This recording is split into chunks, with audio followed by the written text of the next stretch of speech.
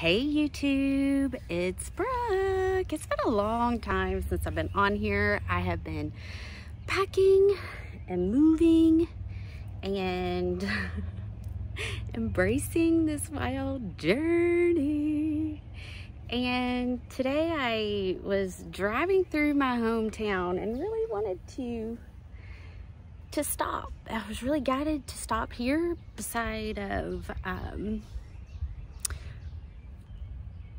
Davy Crockett's grandparents. Um, their their tomb, their their headstone, and really just tap into the energy of what's happening around us. Okay, and the reason why it was so important for me to stop here um, was because in 1777 um, they were killed by the Indians. So when we look at everything that's going on, when we take a step back and we really see the big picture, you know, this, this place, this location, um, had a lot of the founding fathers here. They stayed here, they were from here, um, many presidents.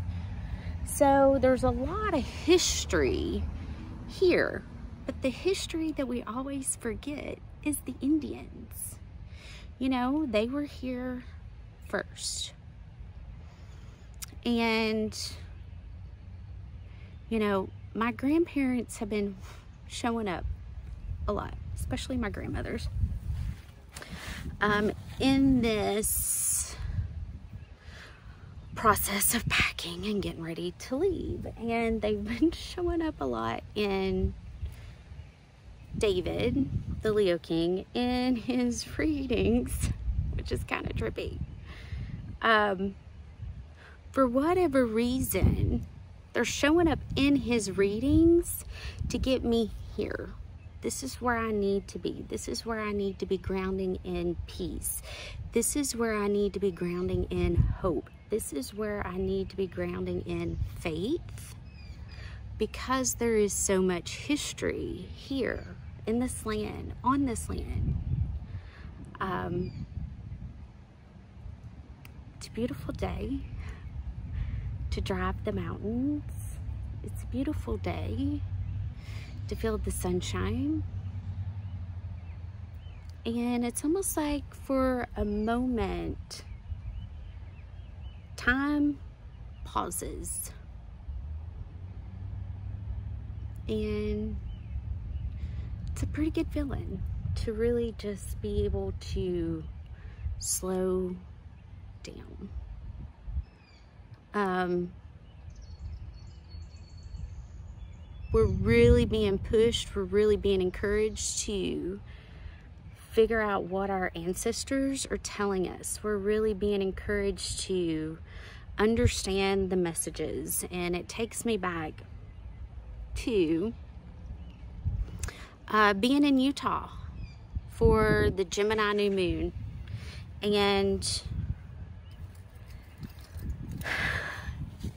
on my way there, you know, I, I see the Cardinal Stadium and the billboard right behind it. The phone number is 222 2222. And my grandmother Dorothy, growing up, she um, loved baseball, loved it. Okay, she would watch three different games well, she'd watch one different game, listen to two different games, and keep the stats of all three while she was watching. And I would literally go, how is she keeping up with all this? How does she even know? But she did it, loved it. And the Cardinals was her favorite team. And her name is Dorothy. you know, no wonder the Wizard of Oz has been showing up. Follow the yellow brick road. Um, I have kind of had to to take a step back from uh, being so plugged in to social media because synchronicities um, were happening, kind of like my trip to um, Utah. okay. Synchronicities were happening that were just too much for me to be able to process and understand. So I was listening to, to Deep Love Astrology this week on Tuesday. Um, and decided to make Dorothy's banana bread. And as I'm listening to it, um, David starts talking about bananas. And I'm like, what the? Okay, this is creepy. And then I look at the timestamps in Aquarius. My grandmother, this the Aquarius. It was 122, her birthday. so, you know, my ancestors, my, my guides, my grandparents have been so loud, so loud. And, you know, it, David is the messenger to be able to allow those synchronicities to happen, which is pretty cool. Okay, because they're leading me here to this point. And,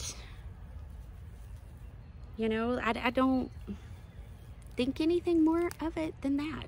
Because, in all honesty, like, the man shares the same birthday as my mother. I've said this numerous times. I don't even know that I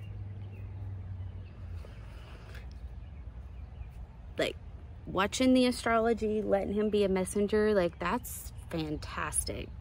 Anything more than that? Yeah, no, uh-uh. I don't think so.